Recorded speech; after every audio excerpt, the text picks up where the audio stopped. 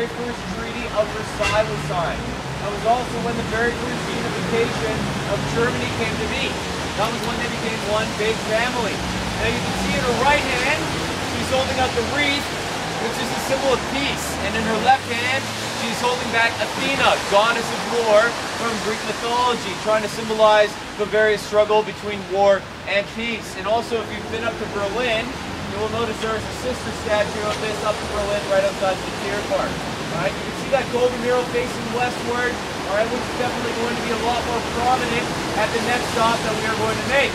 Now, guys, we need to, we're going to go back over this bike path right here, stay to the right side of where the blue sign is. We're going to roll along the bike path. We are going to cross another main street and then take an immediate left. There will be other bike traffic, all right? So try and stay in a single file line.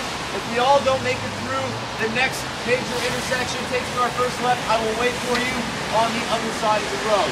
Nice and easy. We're gonna roll along the Isar River right here, guys. This is the, uh, the Isar.